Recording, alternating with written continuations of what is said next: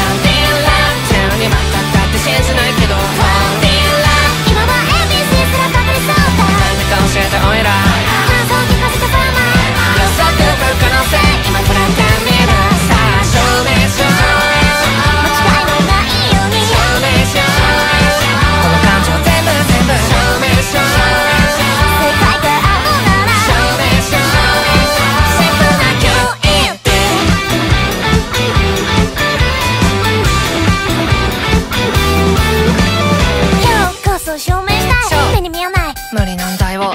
ASAP 導き出したいたどり着きたい最適解へ何度からあったってぶつかっちゃったって不可思議なこのアノマリを解き明かす過程さえ必要条件です3次元かっこ立体における2点 AB 間の距離を求めよういける感じだと思ってたのに財宝も公式も見当たらないし